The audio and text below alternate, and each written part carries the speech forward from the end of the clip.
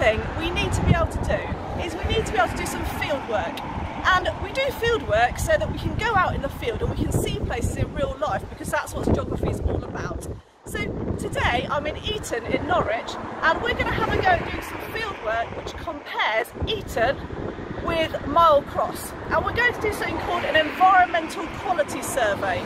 So an environmental quality survey makes a judgment as to how good the environment is in two areas and I'm going to do this with you okay via video.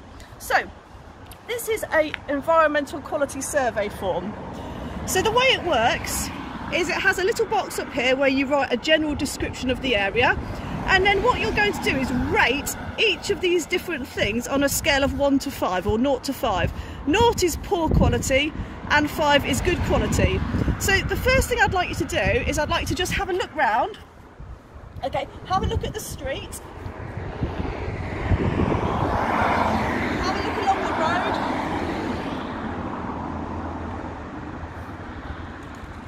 And now you're going to come back to me and what we're going to do is we're going to have a go at doing this together.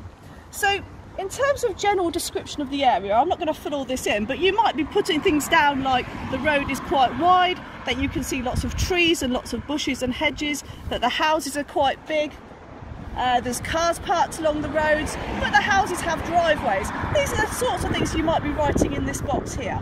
Now let's have a go at completing the survey. So it says high density, many properties, not much space. Well, if I look around, I'd say that actually, I wouldn't say it's a rural environment where there's hardly any properties, but I'd say there's quite a lot of space. So let's give this a four. Okay, you have to make a judgment as to what you think it would be. So you just tick the box that you think it would be. Is it badly designed and ugly, or is it well designed and pleasing to the eye? Once again, it's a subjective decision. Have a look around, see what you think. I quite like it. I think the environment's quite natural, the road's quite wide. So once again, I'm going to give that a four. Okay? Then you look at the next one. No maintenance, no evidence of improvements, evidence of maintenance and improvements. Well, it looks quite well maintained to me. Look at the hedges in the gardens, they've all been trimmed, there's no rubbish. So I'm going to actually say that it's really well maintained. I'm going to give that a five. Can we see any vandalism or graffiti or no vandalism or graffiti? Um, I can't personally see any. So I'm going to give that also a five. Traffic. Parking is difficult. Most vehicles will be parked on the road. Well, that's true. There are a couple of vehicles parked on the road, but most of the houses have quite big driveways. So over here, you've got the opposite, parking available in garages or driveways. So I'm probably going to say that it's um, it's probably a four because there's a few vehicles on the road. Air smells of traffic fumes, no smell of car fumes. Well, actually, this road is relatively busy, but it's, it's I wouldn't say it smells of car fumes, so maybe if we go for a, a three for this. Then we've got high noise volume from traffic.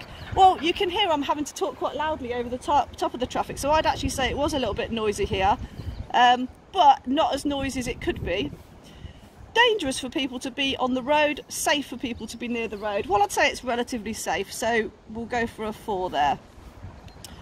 Open space and gardens. No garden, no open space, large gardens or open space outside houses. Right, well if you have a look around these houses, these houses have got massive gardens at the back and they've got quite a lot of space in the front too. So I'd say there is quite a lot of space. I'm going to give it a four. I suppose, you know, you could have a mansion in the countryside with more space. Um, garden open space in poor condition or is it well maintained? Well, I'd say they're very well maintained. Greenery. Okay, well we can see, we've already mentioned this, there's quite a lot of greenery in this area. No public parks or open space, public parks, open space. Well, there is an area down here behind me, and there's also a bowling green just opposite. So there are areas of open space, and there is a park just down the road as well. Um, so let's give that a four. Um, litter, or no litter. I can't see any litter at all. Um, paths poorly maintained or well maintained. I, mean, I wouldn't say they're I wouldn't say they're brilliant because they could do with resurfacing, but they're not that bad. Maybe we'll give that a three. Area is desirable or undesirable. I'd say this area is highly desirable. And is it unwelcoming or welcoming? Well, we've had a couple of people walk past and they've all said good morning, so I'm going to say that it's quite welcoming in this area. So once you've done this, you can then add up the total score um, and then what we can do is we can go to another area, we can do the same thing again, and then we can try and compare those two areas to decide which has the best environment. And that's how you do an environmental quality survey. Right, now what we're going to do is we're going to complete an environmental quality survey for Mile Cross. So what I'm going to do this time, I want you to do it for yourself. So I'm going to give you some different things to consider and I'd like you to have a look at the video and have a look at the different things you can see and consider whereabouts you would, you would rate these different aspects.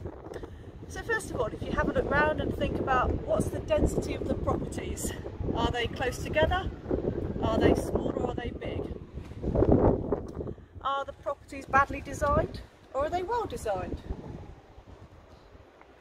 Can you see maintenance on the properties or do they look like there hasn't been any maintenance, they haven't been looked after? Is there evidence of vandalism or graffiti in the area? Or is there no evidence of graffiti? The next aspect is looking at traffic. Is parking difficult?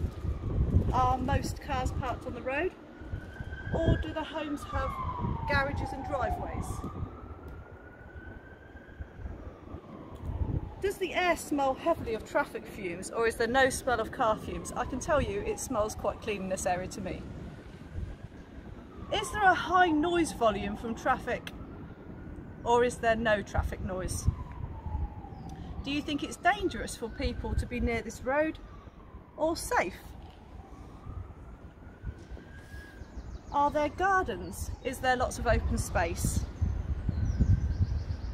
Or, there, or on the other side, are there large gardens and lots of open space outside houses? Are the gardens well maintained? Are they in a good condition? Or have they not been looked after? Is there any greener, greenery seen? Are there trees, shrubs, can you see a park or much open space? And finally looking at the general quality, is there a lot of litter? Or is there no litter? Do you think the paths are well maintained? Do you think the area is a desirable area? Or do you think it's an undesirable area? how safe would you feel in this area? Does it feel welcoming or does it feel unwelcoming? When you come up with all your scores, you can add them up to compare them to the area that we looked at previously in